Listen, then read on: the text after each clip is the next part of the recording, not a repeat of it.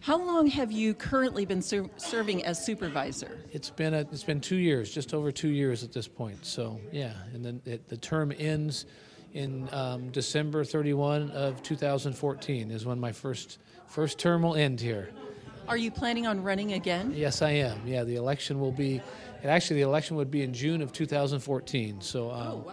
yeah, so that will be the So just over a year. yeah, it's coming up. It comes quicker than yeah, it comes up quick every time. So this will be good. We're gonna we're gonna run again. Is it too soon to ask what your running platform will be for 2014? just hopefully we'll continue on. It's such a learning process when you get into this thing. You spend the first couple of years just trying to figure out what's going on in the county. And then from there, you start working on things, it seems like. And we've got a lot of different projects we're working on. And I just want to try to continue on with those things and, um, and hopefully um, be able to affect some, some good change in the county.